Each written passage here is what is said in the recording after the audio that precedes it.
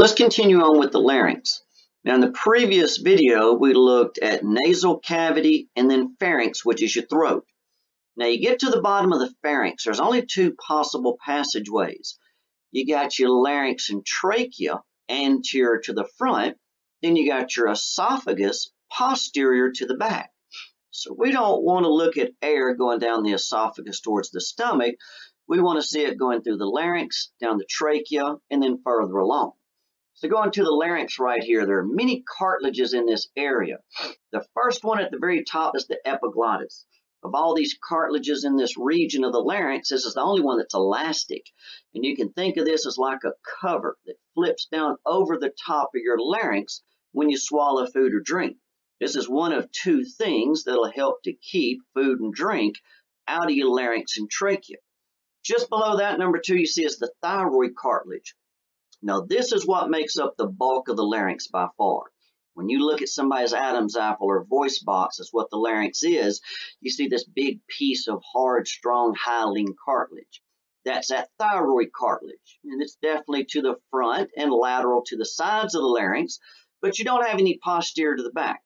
That's fine. This hard, strong hyaline cartilage will forcibly hold these air passageways open. Long as you got it to the front and to the sides, that's more than enough.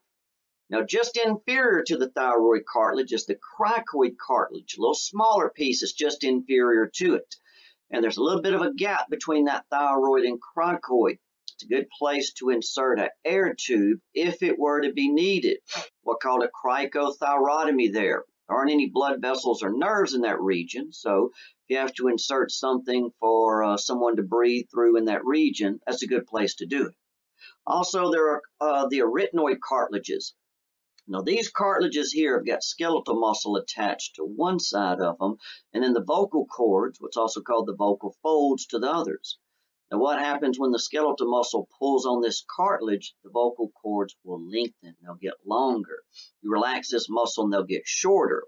And when you change the length of those vocal cords, that's what changes the sound of your voice as far as high and deep. Anytime they get shorter, the sound of the voice is higher. When they get longer, the sound is deeper. So looking at the vocal cords here, there are a couple of elastic tendons. Think of like taking a rubber band and stretching it between your thumb and index finger and then plucking that rubber band. It'll vibrate, and of course that'll produce sound that we can hear. Something similar to that happens when we run air over these vocal cords and force those to vibrate. The vestibular folds are tissue that you see on either side of the vocal cords. And another thing you can do to keep food and drink from getting down your larynx is to bring the vocal cords together that brings the vocal folds together. So that'll make a cover over the top of the larynx. And then that epiglottis flipping over the top of that will also help to do the same. The glottis is not a structure, but a little passageway in between those vocal cords and that tissue that's on either side of them laterally. And in this region of the larynx, you'll find an epithelial tissue that's pseudostratified and ciliated. Remember, cilia are good for moving things over the surface of cells in many cases. That's what you see them doing. And they'll move this mucus with any type of debris trapped in it that came in with the air we were breathing. So you get to the bottom of that larynx, now you're going to move down your trachea. You're talking about your windpipe right here. Of course, you can see part of it right to the very front, anterior in your neck. So to the inside, you'll see some dense regular connective tissue and some smooth muscle. We'll look more at it further along. But you can also actually see and feel some of these C-shaped hyaline cartilages right down the front of it. Again, you got this cartilage to the front and lateral to either side, and that is not there for protection. That's to forcibly hold those air passageways open. More posterior, we got this ligamentous membrane and smooth muscle, just called trachealis smooth muscle in this region.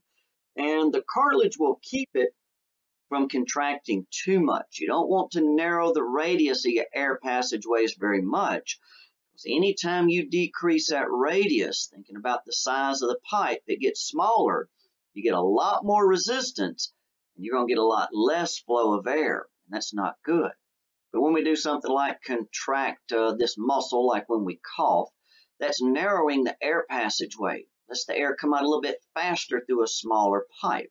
But again, that cartilage hopefully won't let it contract too much. You also see an inner lining to the very inside. You got all this mucus with the little ciliated pseudostratified epithelial cells. Goblet cells are these epithelial cells making this mucus. And again, that mucus is damp. It's going to catch and trap just about anything coming in with the air. As long as it'll hit it, it'll probably stick to it. But when you get to the bottom of the trachea, it's going to split. It's going to branch off left and right. That's your left and right primary bronchi. The left one goes towards your left lung, right primary bronchus goes towards your right lung. You get to the very bottom of that trachea where it splits, and there's a piece of cartilage called the carina. This piece of cartilage has some little touch receptors on it. And if anything touches that cartilage, that's what stimulates a very strong and uncontrollable cough reflex. It's another autonomic response to help to keep materials out of your trachea and down in your lungs. But as you go through this trachea and all these bronchi, which are all these air passageways lower, deeper down inside, this is what we call the tracheobronchial tree. Now there's two different zones to this tree. There's a conducting and a respiratory. So looking at the conducting zone, this would be the first 16 branches. There's roughly about 23 in the average adult. So this is the bulk of them, the first 16. All the way through this conducting zone, you'll see cilia moving the mucus because of all the debris trapped in it. It'll move it up. As it moves that mucus up, take it to the top of your larynx where you'll swallow it. That'll take it down to your stomach, and stomach acids kill by anything. It forms what's called the mucociliary escalator. This conducting zone is just a passageway for air.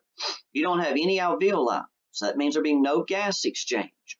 You've got cartilage holding these air passageways open. And where this conducting zone starts at the trachea, it ends at the terminal bronchioles. Anytime you go past those terminal bronchioles, you'll start to see alveoli. You don't have any of those in this conducting zone. So again, we mentioned all this mucus in the cilia, moving the material in the mucus up and out of your air passageways. Again, you get to the bottom of the trachea, splits into your primary bronchi, the right one and left one going to the lungs. Those will split into secondary bronchi. Three on the right side, two on the left. Each one of these goes to lobes. These lobes are different segments to a lung. So there's your first branch, primary. Secondary, going to be your second.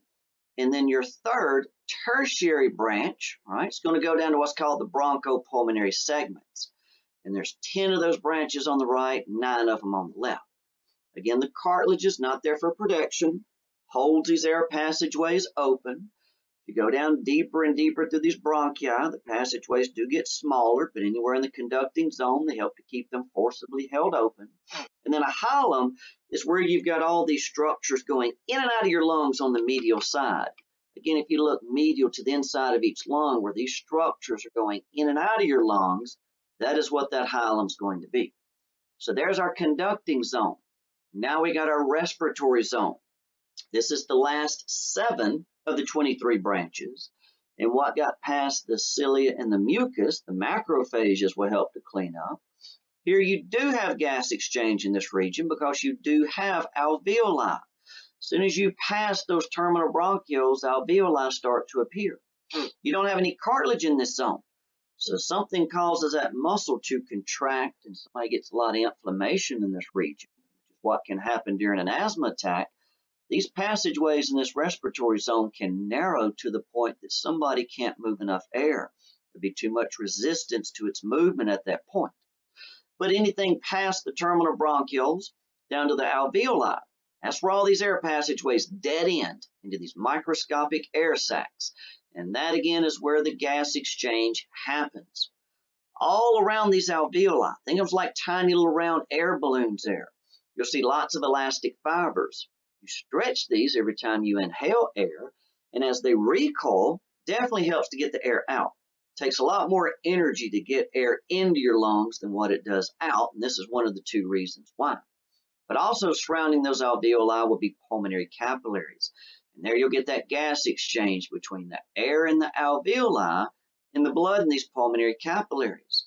Again, with an asthma attack, can cause big trouble in this respiratory zone because there you don't have that cartilage to forcibly hold those air passageways open if they start to constrict too much. So there's your picture of the lungs again. Some of these uh, air passageways like trachea and bronchi. That'd be that carina structure right at the very bottom. There's the alveoli. They appear in clusters, look about like grapes. That's the only place the gas exchange occurs.